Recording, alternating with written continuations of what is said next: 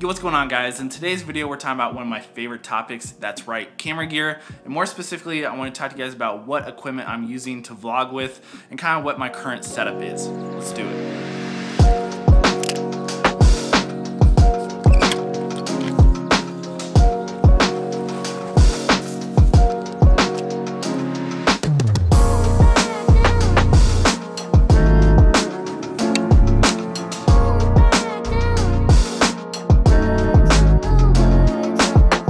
So nothing screams, hey, let's go outside and vlog than like six inches of snow and it being like 20 degrees outside. It's just the perfect time to go out and film. So to start today off kind of on the right foot, we gotta make a quick little stop. Now, before you guys get on me, you know where I'm going, you think I'm addicted, all this kind of stuff.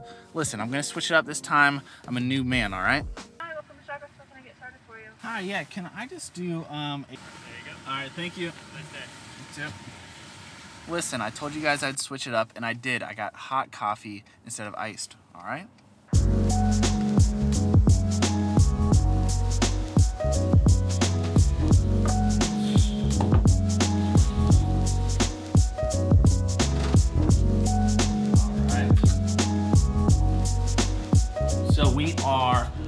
Now I got to switch over to my B camera, which is the Canon EOS R.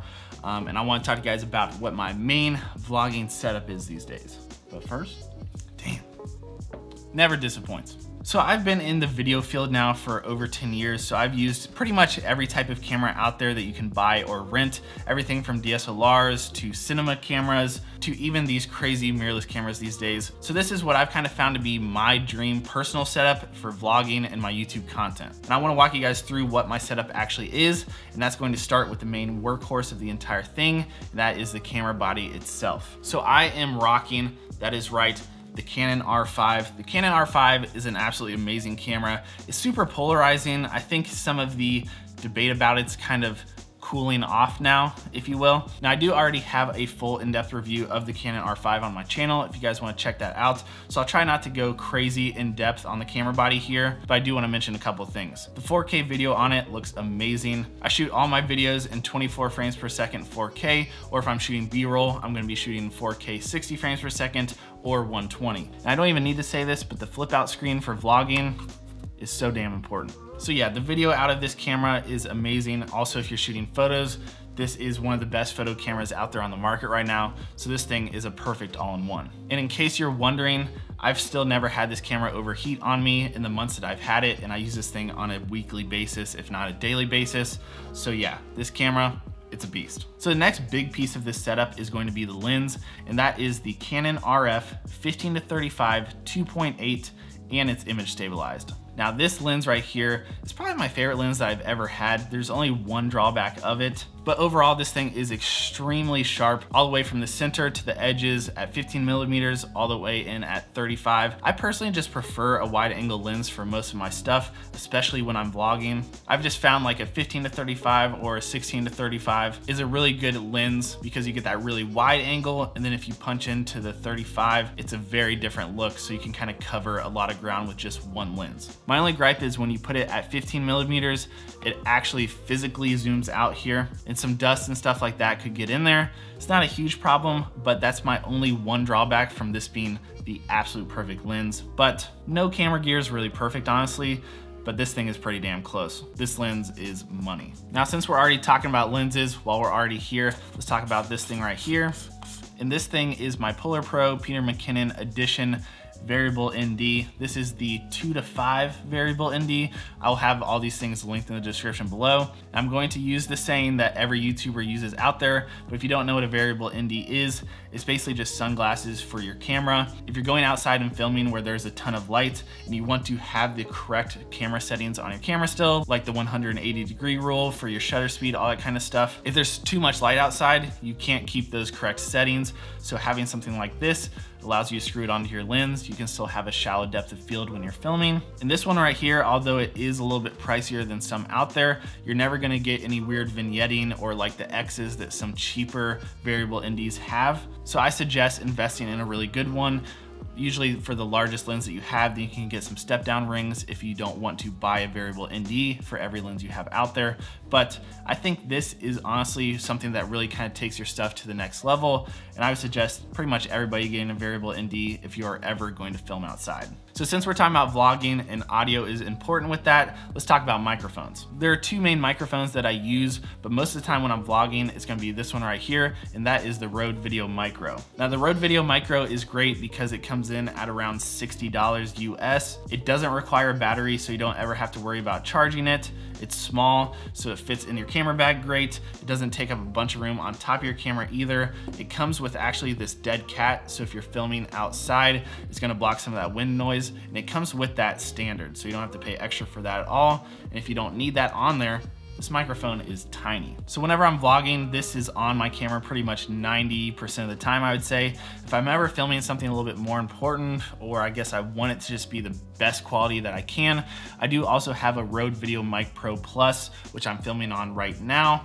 uh, recording the video. I have it boomed over here. But that microphone is gonna be more around like the $250 range, and then you have to pay for the dead cat on top of that. It's gonna be a bit larger, and you also have to worry about keeping it charged. Um, and actually I sat down to record this video right now and the battery on it was dead. So I actually had to just wait around for like 30 minutes and charge up this microphone before I started recording. So something to keep in mind there, but those are really the two microphones that I use. But the Rode Video Micro, because of the price, the small footprint, you don't have to worry about ever having to charge it or anything like that, makes it the perfect choice in my opinion. And then last but not least, we gotta have the trusty GorillaPod. So if you're ever talking about vlogging, especially because Casey Neistat made this just the typical thing for every vlogger to have, uh, the Joby GorillaPod is a great item to have. So this is, I believe, the 5K version. And I've had this same one for about two years now and the legs are still staying pretty strong on me. But this is great because if you're out filming different things, you can have this on pretty much anything, whether it be a flat surface, rocks,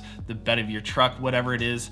Um, the Joby GorillaPod, you can kind of just move the legs around and have your camera set up on top of it. So I know a big competitor these days is the SwitchPod, which I actually haven't had the pleasure of trying out yet. But the only thing that I don't like about the SwitchPod is that you can't lower the camera. You kind of just have to deal with the height that it is. So for now, I'm still rocking the Joby GorillaPod because you can kind of lower it, put it over anything, kind of level out your camera on pretty much any type of terrain. And I know some people have their camera physically on top of the GorillaPod and they walk around, you know, filming like this. So you have your camera on top and you're vlogging yourself like this. But for me personally, these mirrorless cameras are so small these days and so light. If you don't think they're light, hit that weight room. No, but for real, um, they are so small and minimal. And usually if I'm vlogging, it's in small kind of bursts. So I don't really have a problem just holding this out and vlogging like this. So that's pretty much it. That is my dream vlog setup, at least for now. Now, a couple quick notes I do wanna say because obviously this setup right here is not cheap. When you add up the camera body, the lens, the microphones, the variable NDs, the tripod, everything combined, you're talking like a six or $7,000 camera setup. So this definitely isn't a beginner setup, but for me and where I'm at, this is the perfect setup for what I do. And a really big important thing that not a lot of people talk about is whenever you're making content for yourself, at least in your free time, whether it be like how I'm doing my YouTube channel where I work on stuff in the evenings or on the weekend, you have to be excited about picking up your camera gear. And I'm not just saying you need expensive equipment to do that, but I was actually just talking about this with another friend on Twitter the other day, because sure, you could build a red or a crazy cinema camera and film some sweet content here in my home office, but that doesn't really excite me. And a lot of times on my days off, I don't want to build a crazy cinema camera. So for me, having a camera that is very easy to pick up and just start recording with goes a long way for me. So if I can get something that's in a small camera body, I can take with me places, it's really easy to just get going with it for either videos or photos while still maintaining a really high quality image out of it.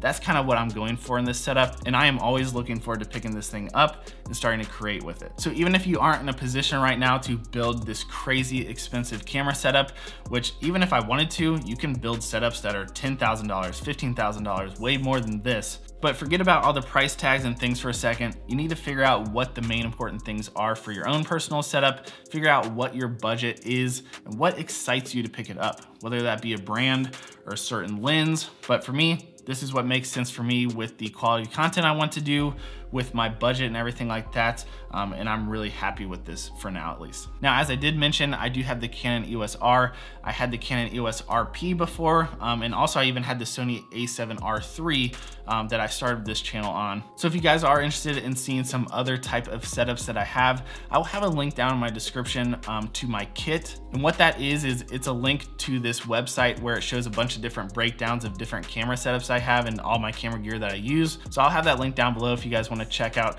some different kind of vlog setups at different price points that might work a little bit better for you if you aren't looking to jump into the R5 workflow yet. So guys, that's gonna be it for today's video. I hope you enjoyed seeing just kind of like what my main equipment is that I'm using these days. I do plan on having kind of like a full camera bag video coming out sometime this year um, because a lot of things have changed, a lot of different equipment these days, um, and what I'm using for just different personal content. And also in the comments below, let me know what your guys' dream camera setup would be. Is it the Canon R5? Is it the Sony a7S III? Is it the new Sony A one, or maybe you just wanna get like a red dragon and just YOLO. But guys, that's gonna be it for me in today's video. If you did enjoy it, will you please drop it a thumbs up? That really goes a long way for the channel. If you're new around here, consider hitting that sub button. I'd really appreciate it. And I will see you guys in the next video very, very soon. Peace, guys.